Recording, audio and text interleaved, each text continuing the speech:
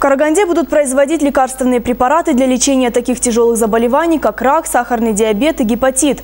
Уже в следующем году на базе научно-производственного холдинга «Фитохимия» в рамках карты индустриализации будет построена третья очередь Карагандинского фармацевтического комплекса, с ходом строительства которого ознакомился глава региона.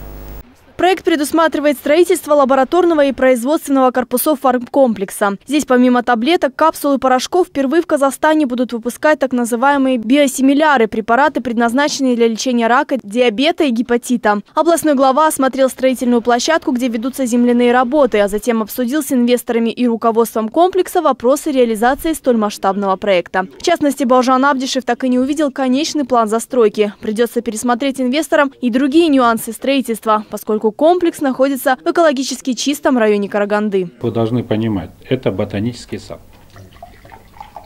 И э, когда говорите, первый вопрос котельный, для меня большой вопрос.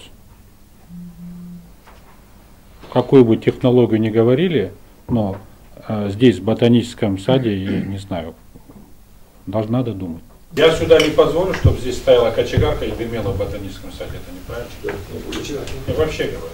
Сегодня Карагандинский фармацевтический комплекс приступил к модернизации производства, которое будет соответствовать требованиям GMP. А трансфер технологий от ведущих мировых и российских компаний позволит выпускать лекарственные препараты международного стандарта, а значит их экспорт страны Таможенного союза и другие государства будет увеличен. Сумма инвестиций 1, э, 1 миллиард 400 миллионов тенге.